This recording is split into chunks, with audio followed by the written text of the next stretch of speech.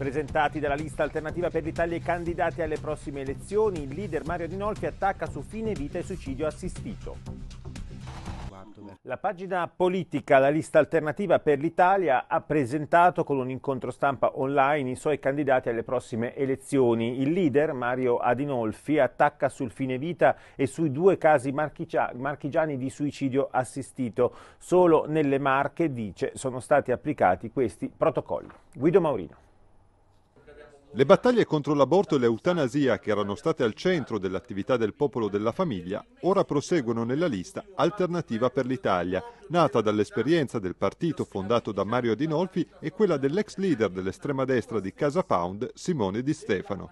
La presentazione dei candidati marchigiani alle prossime elezioni del 25 settembre è l'occasione per Adinolfi di attaccare sul fine vita i due casi in regione che hanno ottenuto, peraltro molto faticosamente, l'applicazione della sentenza della Corte Costituzionale. Solo nella regione Marche sono stati praticati questi osceni protocolli. Noi candidiamo capolista nelle Marche al Senato, una disabile marchigiana, Cristiana Di Stefano, che si batte da sempre a favore della vita e delle condizioni dei disabili gravi. La legge 194 sull'interruzione volontaria di gravidanza, dice Adinolfi, non va rivista, va asfaltata. E poi le critiche per le posizioni definite bellicistiche del governo e di Fratelli d'Italia sulla Russia.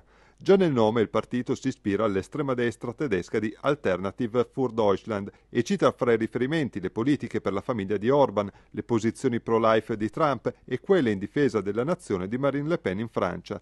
Tutti esempi per Adinolfi che si può fare altro rispetto all'essere accondiscendenti a quelli che definisce i diktat della Nato e dell'Unione Europea.